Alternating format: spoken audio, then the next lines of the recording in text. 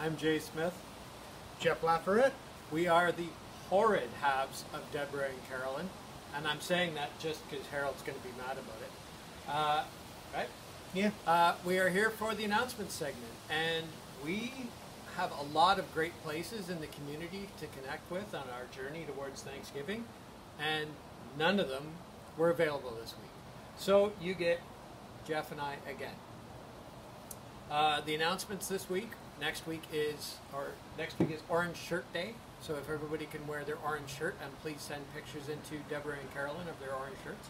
The week after is Junia Joplin, who will be doing the sermon for the, the uh, service.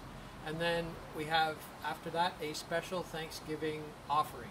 And this year, it's going towards an outreach project, which is technology at the church and the ability to live stream. So anybody who can afford it, anybody who would like to, please give a little extra at Thanksgiving so that we can reach out to the community, reach out to the interwebs, and bring St. Paul's out into everybody's lives that wishes it.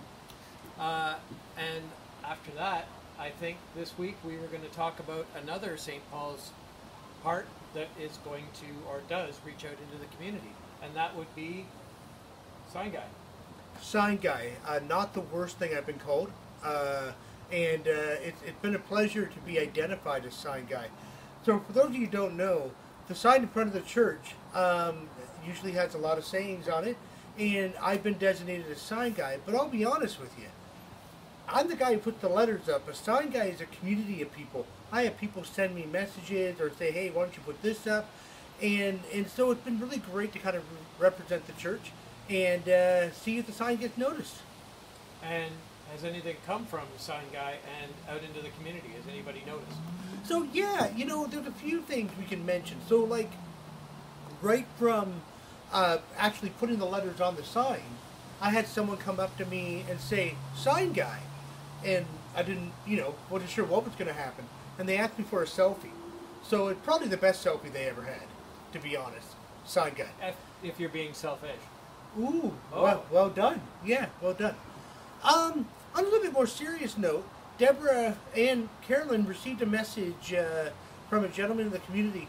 He saw the sign where we uh, said that we may love imperfectly, but we love nonetheless. And underneath it said Pride and Black Lives Matter.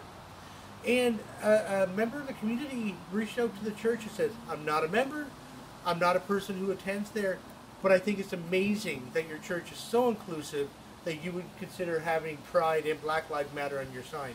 Thank you for doing the work.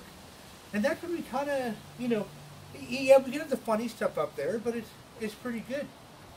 And then just recently, you know, you think of the community as Oakville, but we kind of nailed the digital community. I'm not sure if you remember, Jay, the uh, Junia Joplin sign where we Yep, said that absolutely. she can preach here anytime. We had over a thousand hits on that on, on Facebook and numerous shares and so on, and people from all over Canada posting it. Um, so there is an ability for us to do outreach and share the message of the church, of the community, of our faith. And I think it's getting out there. I would agree. So, like we said, Thanksgiving, the special offering is going to technology for live streaming. And even though Jeff and I will still be on it, please don't let that stop you from giving. If anything, do it in our honor. We think we've earned at least three bucks. Yeah, maybe. A toonie and a loony, and I won't Yeah. say which one is loony. All right, Jay, what do you think? Good? See you next week. See you next week, folks.